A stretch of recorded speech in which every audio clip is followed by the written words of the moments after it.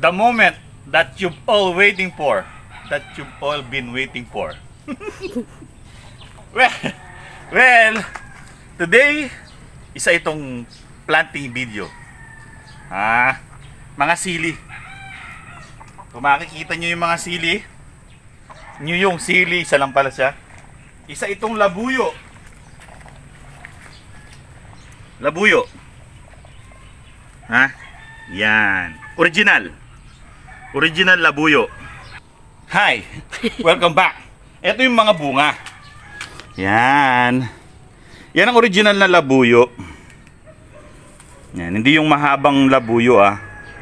Yun hybrid na sili yun eh. Yun yung commercial na hybrid sili.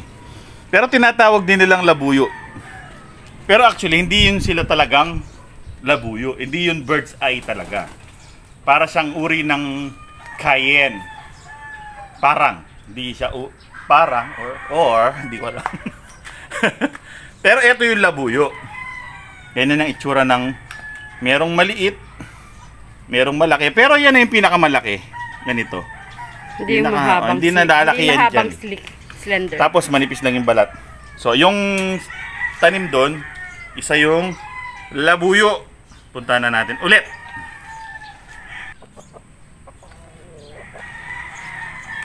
Ganito yung ginagawa namin sa mga sili.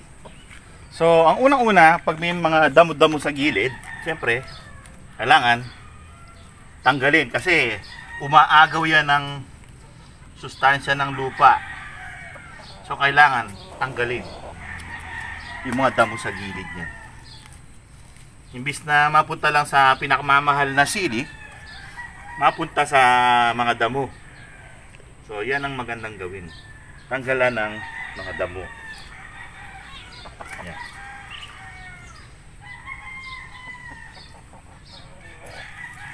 May butas siya dito. eh. Kasi, itong lugar na to, Etong lugar dito, pinamamahayan to ng mga earthworm. So, healthy ang lupa dito. Ayan oh, sa heartworm. Ito yung mga ano ng earthworms, mga baga, pupo nila. Pwedeng ilagay yan dyan. Yan o, yan o. Yan. Pupo ng earthworm yan. Yan, lalagay yan dyan. Tapos, mainam din na sa gilid, di ba sa gilid, kung mapapansin nyo ay nakamount siya ng konti yung paligid. Tapos medyo malalim dito sa gitna. Yan malalim siya sa gitna. Hindi man actually malalim na malalim. Yan yan nakaganyan di ba para kasi pag dinidiligan yung tubig hindi na bumababa dito naka-concentrate lang dito sa pwesto na to so may manok sa tabi niya eto ayan Ito yung manok sa tabi. yan, yung manok. Isang ano yan, native. Ngayon, ito yung mga pupo ng manok galing dito sa kanyang hapunan. Mahapon siya dito. Yan siya pumupupo. Ngayon, kukunin natin yan. Sayang naman yan eh. Lalagay ngayon natin yan sa tabi ng sili. Pero hindi dun ha. Naluluto yun. O maluluto yung sili. Sa gilid lang nung mound.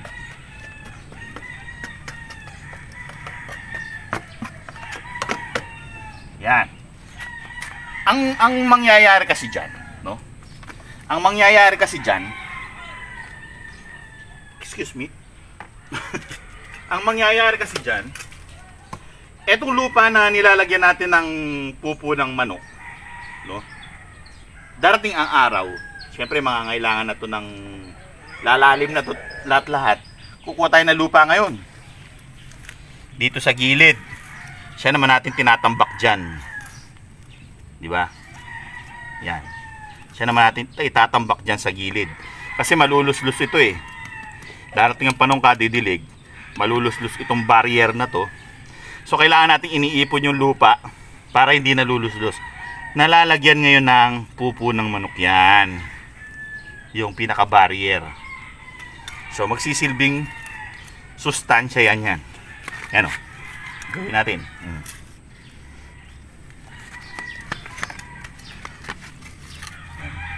Ginaganyan yan.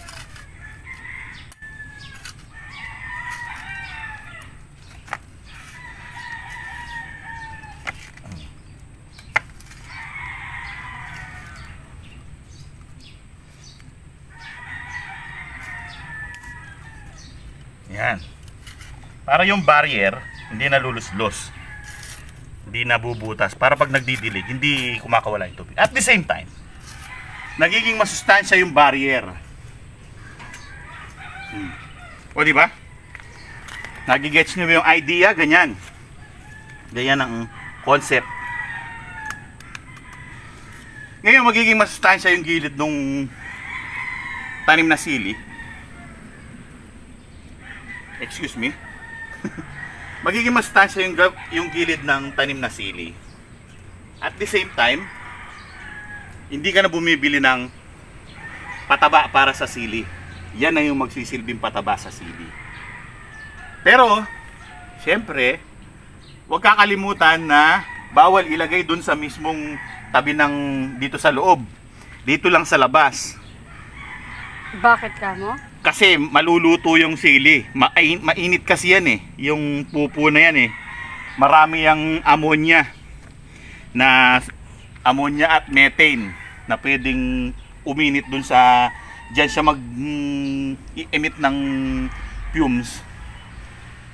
Medyo aano yung sili. Ah, baga Manamdaman niya. Oo, magdadam magano siya, ma- mararamdaman niya 'yon. Maapektuhan siya. So dito lang sa gilid. Yung gitna ano lang 'yan? O, ah, ordinary soil kung meron kayong compost, dagdag-dagdagan nyo lang ng paunti-unti. Ah, siguro kada isang buwan magdadagdagan ng konti-konti. Yan, yan ang concept niyan. Kung ma-observe nyo naman, napakaganda ng mga dahon.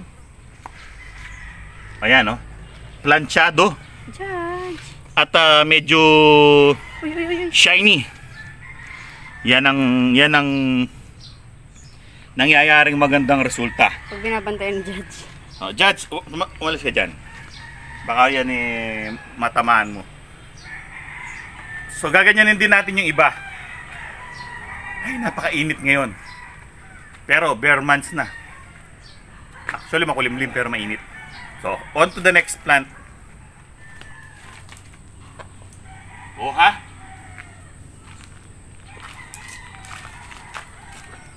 So, marami dito.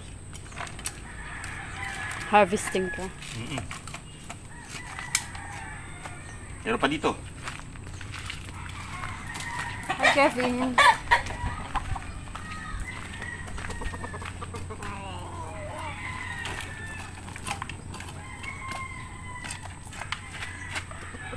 Dalawang bagay yung ano dyan. Ang ganda ng arrive no. Dalawang bagay yung ano dyan. Benefits. Benefits niya kasi Malilinis Siyempre, mo. malilinis mo yung ilalim ng hapunan.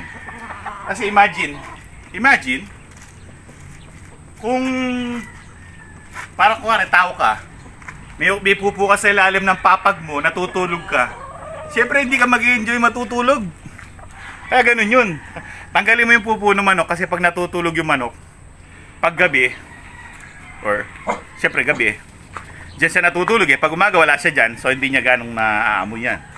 No choice pa naman siya, nakahapon siyang ganun. Yung pupo niya niya sa ilalim, sumisingaw. So, di ba? Magkaka-nightmare ngayon siya pag natutulog siya kasi Kaya pala nalalaglag oh, sila. yung, ah, nasa Poso Negro siya ng panaginip niya. Totoo. Totoo yun. oh, so kaya, ay sayang to. Kaya, mas mainam na tinatanggal oh. O, di ba? Dalawa ang benefits sa halaman at para rin sa convenience ng ating mga alaga. So, kung meron kayong mga manok, tatanggalin yung pupo sa ilalim ng lugar nila. Isang tip yan. Mula sa akin. ah. So, yan ang isa sa mga ginagawa namin sa aming mga sili. Ang ganitong method. Well, ito'y ito'y sariling ano lang, experience. Hindi naman ito ano, talagang professional ha. Baka kayo'y Hindi to. gayahin nyo at biglang ano. Pero, it works sa amin. Kaya, Sana pinap- sa inyo din. Oo, sana sa inyo din. Kaya patuloy namin ginagawa yan. Kasi kung namatay, kung mamamatay yan sa ganong method, Tinigil na natin. dapat matagal na namatay yan. At hindi na namin ginagawa yan. Kasi yung mga sili namin, ganyan ginagawa na. Kasi marami kami mga alaga sayang naman yung pupo. Pwede naman magamit. Yes. Yan ang style sa paggamit. So, hanggang sa susunod na episode. Maraming maraming salamat sa inyong panonood. Paalam. Paalam! Ah, mamunga. Bigyan, bigyan mo ko ng maraming maraming bunga, ha?